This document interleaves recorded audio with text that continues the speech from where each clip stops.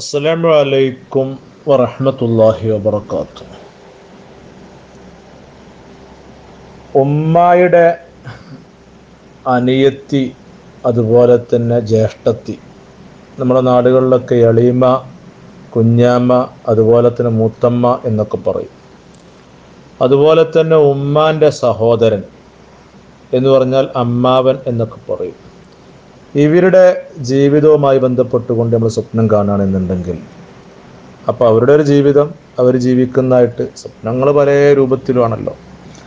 അങ്ങനെയുള്ള ഒരു സ്വപ്നം കാണുകയാണെങ്കിൽ അതിന്റെ വ്യാഖ്യാനം മുഹമ്മദ് ബിൻ സീരീൻ റളിയല്ലാഹുൻഹു അവിടുത്തെ തഫ്സീറുൽ അഹലാമുൽ കബീർ എന്ന് പറയുന്ന കിതാബിൽ അതിന്റെ അറുപത്തി മൂന്നാമത്തെ പേജിൽ പറയുന്നുണ്ട് ഖാലത്തുഹു ഒരാളുടെ ഇളയമ ഖാലത്തന ഇളയമ മൂത്തമ്മ എന്നൊക്കെ പറയും അവരെ കാണുന്നു.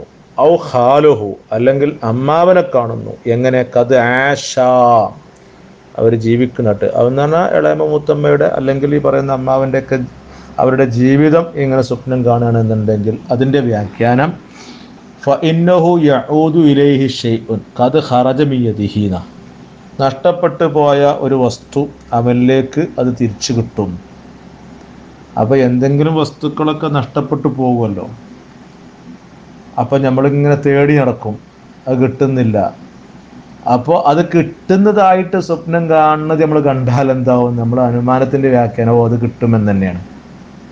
എന്നാൽ ഇതേമാതിരിക്ക് ഇളയ മൂത്തമ്മ അല്ലെങ്കിൽ അമ്മാവൻ അവരുടെ ഈ പറയുന്ന ജീവിതവുമായി ബന്ധപ്പെട്ടുകൊണ്ട് സ്വപ്നം കാണുമ്പോൾ നമ്മൾ ഒരിക്കലും അത് തിരിച്ചു കിട്ടുമെന്ന് വ്യാഖ്യാനം വെക്കൂല. അപ്പൊ അതിന്റെ അർത്ഥം നമുക്ക് നഷ്ടപ്പെട്ടു പോയ ഈ വസ്തുക്കൾ തിരിച്ചു കിട്ടും എന്നാണ് ആ പറഞ്ഞതിന്റെ വ്യാഖ്യാനം. അപ്പോൾ നമ്മുടെ പല വിഷയത്തിലും നമ്മുടെ ഉറക്കിലൂടെ നമുക്ക് ഇതിന്റെ വ്യാഖ്യാനം നമുക്ക് പറയാം കണ്ടെത്താം ഒക്കെ ചെയ്യാം. അപ്പൊ നമ്മൾ കാണുന്നതും പക്ഷേ യഥാർത്ഥ വ്യാഖ്യാനം അറിയണം. അപ്പോഴേ എന്താവുള്ളൂ അതിന്റെ വ്യാഖ്യാനം ഇതാണ് എന്നുള്ളത് പറയാൻ പറ്റുള്ളൂ. കേട്ടോ?